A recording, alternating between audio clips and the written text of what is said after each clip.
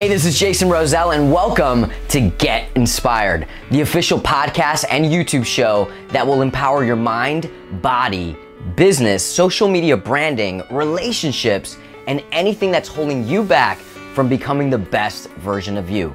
Listen, before I became a TV personality, an author, a celebrity trainer, a life and wellness coach, and the founder of Caliente Fitness, I was broke obese for 20 plus years, full of stretch marks, full of excuses, and most importantly, here's the deal I was unhappy. I was able to change my life completely, and since then, I've helped thousands do the same. This show is gonna bring you awesome guests, tons of helpful programs that'll aid you, but most importantly, your questions and topics that will make this show your show. My question is this Are you ready to get inspired? Well, get ready because the show starts now. Welcome to Get Inspired with Jason, the podcast and YouTube show where we get your mind caliente, we get your body caliente. Most importantly, we get, we get your emotions so, so calientito. You know why? Because it's about you and your life. Today, we have a special guest. It is therapist and relationship expert, Dr. Elizabeth Fedrick. She goes by Liz. What's up, Liz? Hey, Jason. Thanks for having me. This is so exciting. You are so welcome. I uh I have to say I've been very very um excited about having you because I ran into your Instagram account not too long ago and everything that you were posting I was like me and my clients can resonate with this so effortlessly because you're speaking on so many layers of life you know? Um obviously being a therapist being a relationship expert i like how you combine and bring in dis- different aspects that can make someone that has never worked with a therapist before you know more prone and comfortable to say hey you know what? I relate to liz you know? And i said you know what? I want to bring you on my platform because what you have is gold and we're ready whoever's watching or listening to get some good gold I got to ask you, what caused you to become a therapist, a relationship expert? Have you ever dealt with trauma, panic, anxiety? Have I just give it to me? Yeah, no, for sure. I so starting in childhood. So yes, um, grew up in a an upbringing that did create quite a bit of trauma, anxiety, depression. I was probably in about middle school when I first started to notice the symptoms. Now, obviously, grew up um, low income and so there wasn't the resources weren't there. The even the awareness for my parents they're probably didn't know what it was couldn't put a name to it right? And so i suffered through that for a really long time until about my early to mid 20s when i went back to school. I started my degree in psychology then did my master's in professional counseling and eventually did my doctorate in psychology as well. And through my own education is when i became aware of like oh, okay, this is what was going on at a really young age, and this is what it has turned into and evolved into over time. And so, yes, trauma, anxiety, depression, ADHD, OCD, you name it. Yeah. I've got it. winner, winner, chicken dinner on that. So I've been able to work through a lot of it though. And, and as you're saying, I think that that's where a lot of um, the relatability that I have comes in because I'm going through it along with everyone else. I love that you said and you take ownership. I'm going through it in present tense. Yeah. Right. And my audiences know very well that, you know, this was something anxiety, depression, etc., that I've been fighting in the past. Fight, fight, fight. Oh, I'm the winner, right? I'm the winner. I'm not going to let this beat me. And it wasn't until, you know, not too long ago where I, I, I realized it's they're my friends. They're not good friends, but they're not going to go away. Right. Yeah. And you know this better than anybody. What do you tell someone that when they're going through that major intense panic attack, right? Their throat locks up, their hands start getting shaky, and they just they want to run. What do you tell someone? We got to ride the wave. It's um, we call it urge surfing or emotion surfing. And the idea is that we know, so Jason, you and I especially, we've gone through these really highs and lows of the anxiety and depression, all, all of those things. And yet we're sitting here together on a Tuesday morning, beautiful day, we're okay.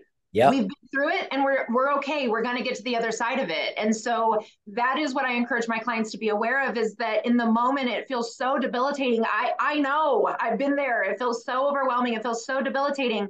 But we can sit in that discomfort and we can be aware of what this is and what this isn't. And we can allow the wave to, you know, hit its peak and then come down the other side. But we have to be prepared with those emotional regulation skills we have to be prepared with the logical self talk to even be able to process through in that moment what's going on and what's the truth about going on that's going on. And I encourage my clients to really ask themselves is is the way I'm looking at this from a place of truth or a place of trauma? And that can be really informative in those moments because is the fact that I feel like my world is crumbling true? Or is it because my nervous system is just really overwhelmed in this moment? Yes. Wow. Wow. Wow. Okay. That was such an amazing and powerful answer because what you said, there's just so much validity behind it. And it's the truth. And we just sometimes have to face the truth.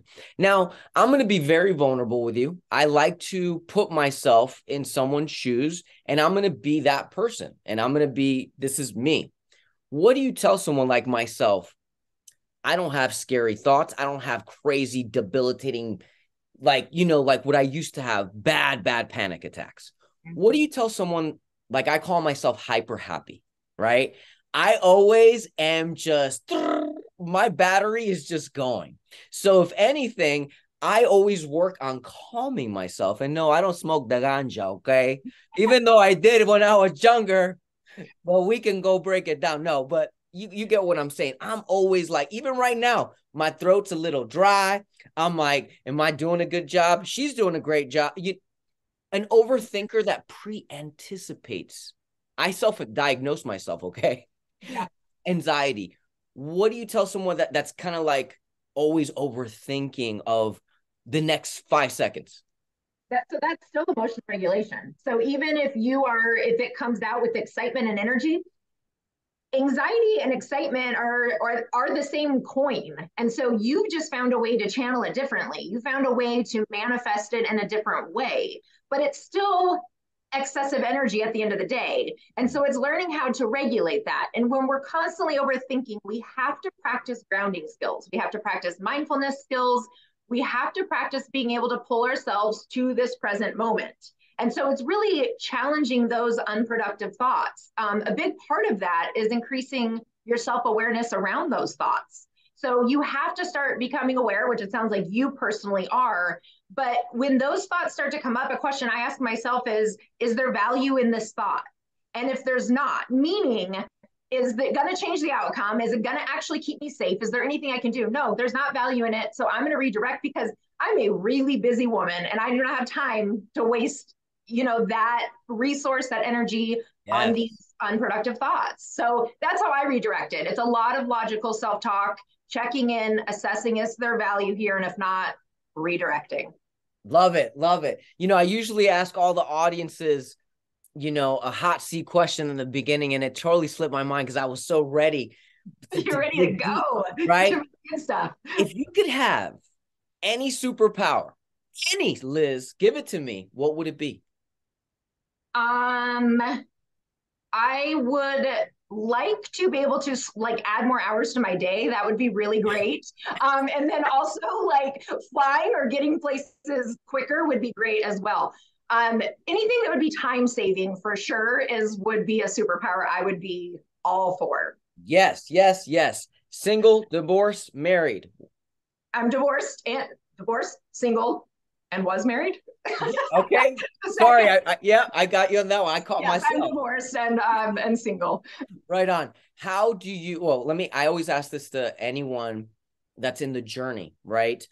Um, you obviously, uh, Liz, for many of you don't know, she owns three practices, correct? Here, mm-hmm. all over in Arizona, and obviously has a phenomenal, strong online presence. I'm gonna leave all her information below we're going to be doing more follow-ups you know maybe once a quarter get my audiences warmed up to you and i'll go on your show but let me ask you you're a, an entrepreneur, you're a therapist, you're a you know relationship expert.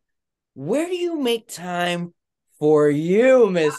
Oh, Jason. Yeah. so what I will tell you, and this is not a cop out, though it's going to sound that way. I am genuinely so passionate about mental health. I'm passionate about my online community. I'm passionate about connection. So the things that I spend my day doing, I, as silly as it sounds, it is fun to me. It's what I enjoy doing. And so what I really do like to do though is like a couple weeks ago, I went to New York for a couple days. And because of a lot of the stuff that I do, I can do it virtually. I was able to work while I was there, but it was just really removing myself from my everyday environment and just being in a new environment, which was so inspirational. Just the creativity that came from it and the fulfillment that provided. And so, to answer your question, I don't necessarily carve out these big chunks of time to, you know, take bubble baths or get massages or things of that nature. But I do try to travel is something that really fills my cup. And so if I can travel and do these other things simultaneously, that's where I take time for me. Perfect, perfect. I work with and I'm friends with many female entrepreneurs, male entrepreneurs. I always ask the key question though. You're so busy. You obviously have your own balance, which is phenomenal. Do you want that other special counterpart to you in your life? Because some people don't. And if you answer yes, how will you make time for them? So my answer is no ish. I, um, I enjoy spending time. I'm dating someone currently, and so we'll see each other occasionally. We're not in a committed relationship. We're both okay. on the same page about that. But I get a lot of my fulfillment in that way. And he's, I went to New York with him, and like just to have that he works just as much as I do. So being able to sit across from each other working, and I don't, I have no desire for a committed relationship. He knows yeah. that. I have no desire to ever live with anyone again, to be married again, anything like that. Yeah. So I do, of course, like any human, I do have a desire for connection um, yep. but I do not have a desire for commitment. If that answers your question. That was actually a very well expressed. Most people, I catch them off guard. They're like, well, you know, I just opened up this other restaurant and da da da da da. I mean, I would like a girlfriend, but you know, there's always that but, you know. Right. Um, so good for you. The fact that you know who you are, what you want, and managing your expectations, your own boundaries and the fact that you set that. And i think this is the one one of the biggest issues people have at least in my practice whether it's in their fitness you know whether it's in their relationships they don't really have boundaries. They go into it like oh let's just go with the flow. No motherfucker part of my french. You can't just go with the flow. You got to know what you want right? And if the other party is not on the same page woo right well, and that's where I feel really lucky is that I I've been any man I've talked to in that way, I'm very upfront right away, and they can, you know, take it or leave it. I'm again, that's maybe one of the perks of not desiring commitment is I, I don't really doesn't bother me if that's not okay for you. Um, the other piece of that is my ex-husband is my best friend, and so not a whole lot of people are thrilled about that either. Um, so with these factors that I'm not willing to negotiate on, it's it's great to find somebody who's okay with that and um, is just can go with the flow. Yep. And some people, like you said, they may look at like someone, whether it's a male or a female that has kids, and you know, oh my God, the ex, oh, that's baggage. Look, sometimes it's all about perspective, right? To some, it's gold. It's like, oh my God, that's so cool. Liz has kids, and sure, she may be best friends with the ex husband, but now I have a family I can be a part of, right? Some people may look at that psychologically very different, and that's their freaking loss, and it's all good, right? It, it so, is all good. No love lost there. Thank you. And here we go. Next question for only four ninety nine, ladies and gentlemen. You ready? Ready? Ready? Ready? All right, here we go. Here we go. So, how do you know when you're not in a healthy relationship? We're taking you away from the equation. So, everyone that's listening or watching, how do you know when you're not in a healthy relationship for people that are dating, married, or super serious? Your daily mood states and, and the activation of your nervous system, which a lot of people do not pay attention to, especially in our Western society. We are mm-hmm. not mindful of what happens in our bodies throughout the day. When our stomachs are clenching or cramping, when our hearts are racing, this has become such a norm for so many of us, whether it's because of our trauma or busy lifestyles, that we don't stop to become aware of that. but those are going to be the main cues that help us to really determine if a relationship is healthy or good for us. Because the reality is, we spend a lot of time talking about red flags. Um, I, I, have a reel coming up about this here soon. And we talk about red flags, but we don't stop to consider that maybe this isn't a red flag, it's just an incompat- incompatibility issue. So you're just not compatible. That doesn't mean there's something inherently wrong with that person's behavior. For example, if somebody works a lot, that might not feel good to you because you want more of their attention, but that doesn't necessarily mean it's a red flag, a universal red flag, so to speak. Mm. And so, a good way to be aware of if you're in a healthy relationship or not is how are you feeling day to day in that relationship? Do you feel safe? Do you feel secure? Do you feel connected? Are you excited to see that person, but also feel safe when you tell that person you're not available that night to see them? And so, really, the um, the way that your body is feeling, and if you can feel at peace, that's a really good indicator. Um, I could go through all the do's and don'ts, all the this and that. I can give you a whole list. But the reality is that list doesn't apply to everyone. But how our bodies feel does apply to everyone. No, I completely agree. I mean, there's so many levels of it. I mean, me per se, we'll use me as a guinea pig. You know, there's been different phases of my life. You know, there's been a phase where, say, I was very egocentric right? I'm on TV every freaking week for three years in a row. So I'm right. thinking, yeah, I was very inconsiderate. Let's just leave sure. it at that. Right. So, of course, anytime I was triggered, it was because I was hurting the other person's feelings. Right. So, you know, I like how you say, you know, you feel it. Right. I, and I wasn't at peace. I was like, why are they not happy? You know, I give them this, I do that. And they made me self reflect. Right. And I was like, oh, damn right? But what do you do when when two parties, for example, I know plenty of couples that they're both good people and they're both in, you know, they they do as best as they can, but they the synergy in the way they express themselves or mm-hmm. even their love languages, right? They're very different.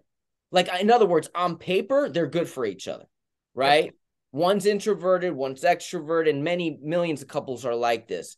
But what if, like, the style of communication of one party is so different that it irks the other person, even though this person didn't say anything wrong, right? right. Or, or maybe this person's not even insecure, but it's what they're used to in the past. In the past, didn't work for them. Mm-hmm. Is that a green light, good relationship that has potential, or is that more like, ooh, you may want to look elsewhere? So again, that I mean, you just gave a really great example of the compatibility piece that I'm referring to. That these could be two really good people who don't have these universal red flags. And when I say the universal red flags, just to touch back again on the unhealthy relationships, this would be the abusive behavior. So physically, mentally, emotionally abusive, constantly putting someone down, humiliating them, harming them, those are all red flags and indicators of an unhealthy relationship. So, just to your audience, don't hear what I'm not saying. I'm not excusing that just because someone's okay with it. That stuff is not okay. What right. I'm referring to is more exactly what you just described that it's a difference in, in love languages or hobbies or uh, morals, values, worldviews. And when that becomes the case, those two people get to decide are you worth it enough for me to compromise and make changes to meet you in the middle. Hmm. And that's what it often comes down to. So, can we sit in the discomfort of the differences in our communication style? And can we figure out how to get closer together? Can we bridge this gap together? Mm-hmm. Now, one person might be all for that, and the other person maybe not. And that's going to be the best indicator of if that relationship can work or not. The differences are not the issue because you can work together to figure that out. It's how much do you want to figure that out? And then are you willing to figure that out? Are you willing to do what it takes to not get your way? And then I always tell my clients at the end of the day, it comes down to acceptance or change.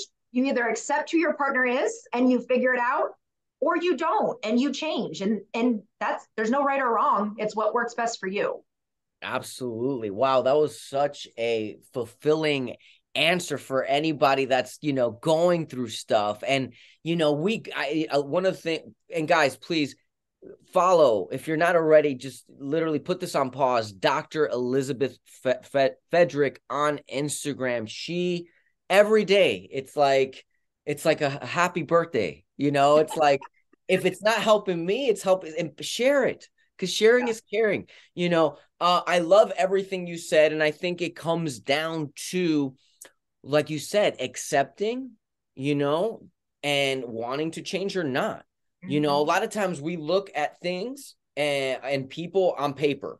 Oh, well, this looks good on paper. You know, this should work out. Or a lot of times people want instant gratification right? So a lot of times, like I've helped people in, in their relationships in the past, you know, sometimes you have to do the pro and cons list with all of your past to see where you're at and ask yourself what is what has worked in the past, what isn't working now, and how can you connect the dots? A lot of times people are like, well, let's just talk about sex, right?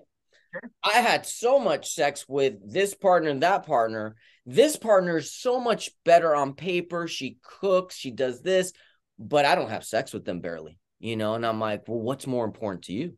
Right. Yeah. what what is more important? Oh, you know, or like, well, let's talk about values, you know? Um, my ex, for example, had not my ex, but like say they'll say my ex had awesome values. Um, and and but they were very introverted. And you know, I didn't feel like I could be myself you know yeah. what do you tell people like in these these are kind of gray areas mm-hmm. Yeah and it comes down to the priority because i sit with clients all the time and have those conversations they, they make a great partnership and they're incredible co-parents and they manage the home together their dual incomes are just their powerhouses but like you're saying with the sex they don't have sexual chemistry or they don't have sex very often and that's hard for one or both of them mm-hmm. um, and what we sit with is what is most important to you. So if you sit there, yes, technically we could find a partner where we could have it all. Okay, fine, fair. But I'm not, I, I tell my clients, like, I am not a fairy godmother. So if that's what you're looking for, that's not what's happening. What I'm helping you to realize is what are the traumas you're bringing into it? What are the triggers you're bringing into it? And how can you show up more healthy in this relationship regardless of if it's perfect or not, which by the way, it's not going to be perfect. Mm. And so we have to sit with what is most important to us. So for some people, that sexual chemistry, that's what matters. And for other people, it's the partnership. That's what matters. Um, for myself, that's something that, you know, realizing that I don't want to be committed, that I don't want to live with somebody, all of those things, connection is important to me. Mm-hmm. But I don't want the commitment. I'm a strong, independent woman. I don't need a partner in that way. I don't need someone to take care of me. And so I don't want that. And so I help people to really sit with what is their priorities. So for a lot of my clients, whether they're in a relationship or not, we do a five wants, five needs, and five boundaries list so that they can really clearly identify these are the things I need in a partner. These are the things that would be nice preferences. And then these are like the deal breakers. And often that helps people to really determine should I stay with this person or is it probably a good choice for me to keep looking? Yeah, I like that a lot. And you made me think, and my background is PR and marketing. You could create a course, okay? And if you end up doing this, I do expect my 5% residual um, on God. And I can't believe I'm telling you this, but the way you expressed it was look, I don't, I don't, I don't need that commitment. You know, I don't need all these things. I'm a strong, independent woman right? Imagine if you created a course that said the following. What if I showed you the ways, the ways, excuse me, to be super successful financially, super confident in your mind, your body, your soul? Would you want a husband then? Would you want to live? Oh, oh with you. Sounds like we we have something we're about to partner up on. Your audience hears it first, he, right here. I'm just saying and then next you know, me and you are partnering. It's like, ladies, you don't need a guy like me. Trust me, I'm only good to look at certain times of the day. I smell good because I put my Tom Ford on, and you know, and I'll give you some smoochy smoochy, but that is it. Right. And that's all they need you for. That's how they just want to look at you, get a little connection, and then that's it. Right.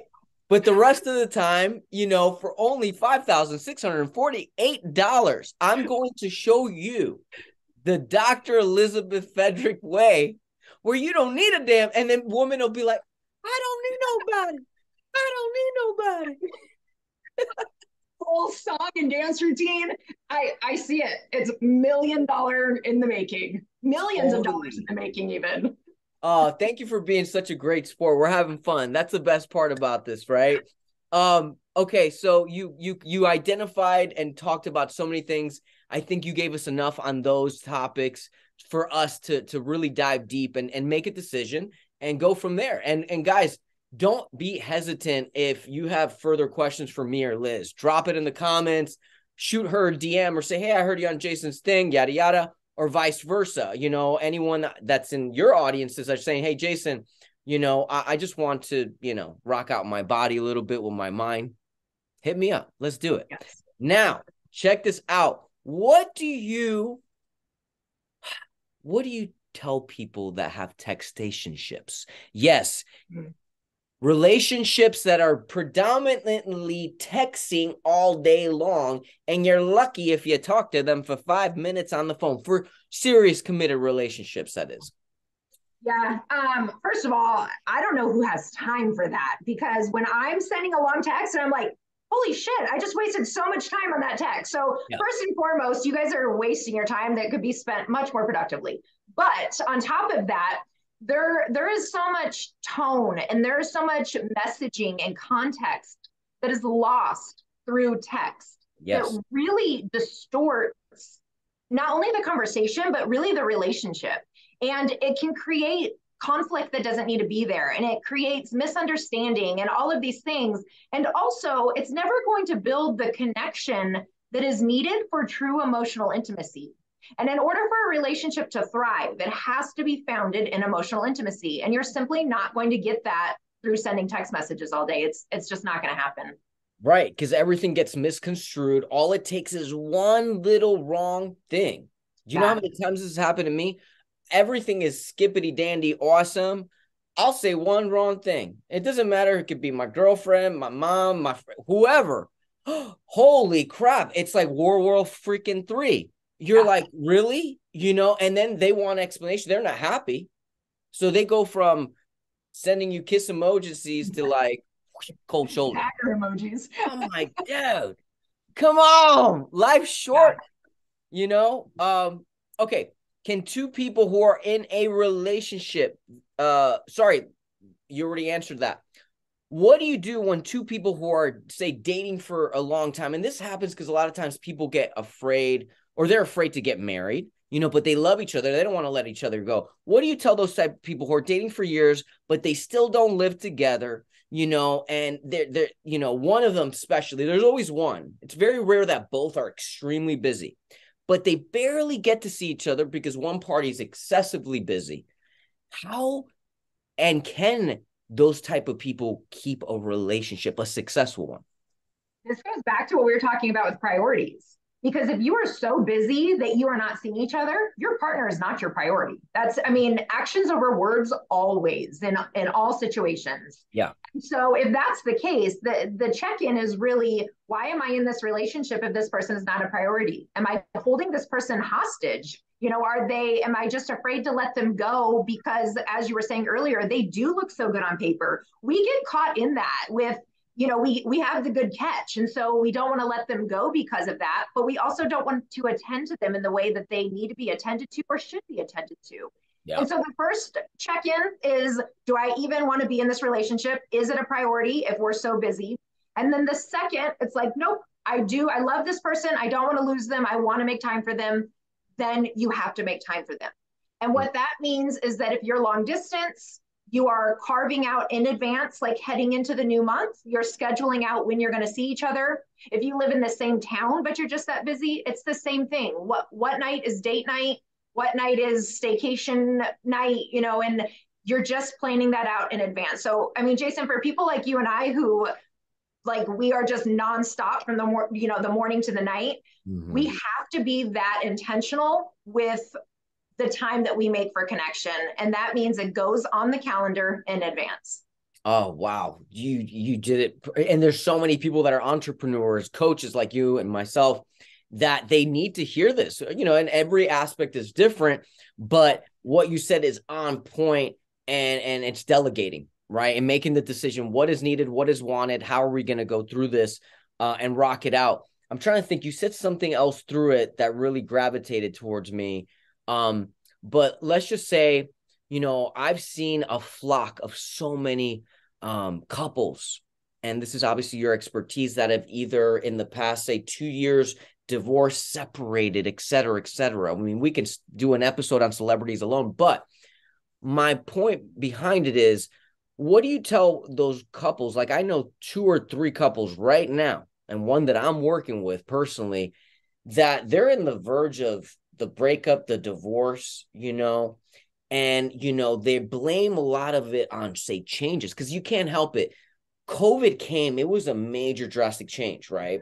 And then came this past year, right, where it's like it's like getting used to what is normal again, right? I know I know several people that can say, "Hey, I I barely see my husband maybe maybe at most 20 30 minutes a night and then he has to get up because he's readjusting this past year and he keeps on telling me baby it's just this year you know and and it's even for me even though i coach people i'm asking you you're more proficient in this. What do you tell those people that you know they're they're hanging on? They're like well, when am i going to see them? You know like and you can't get mad at the they they can't get mad at their partners. Why?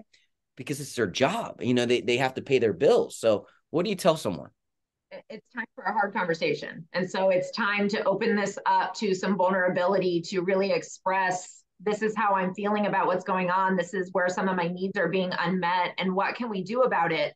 And when it comes to those type of situations, no, that partner is not going to be able to change everything to give the give their other partner maybe what they need all day every day, but they can make some adjustments that demonstrates efforts towards change. And often it's those efforts in and of themselves that really helps us to realize that our partner cares. Like, yes, we do want the change to take place, but the effort towards the change sends us a message that we matter, that we're important, and that we're a priority.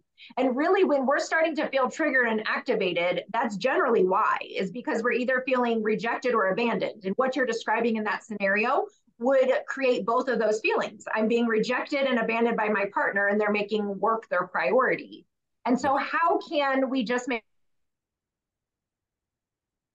some adjustments. And sometimes, I mean, that's even scheduling out in advance, like we talked about, and saying, All right, babe, I hear you. I see you. I want to show up for you. Can we please look down, sit down, look at the calendar together, and identify when we can spend two nights next week quality time?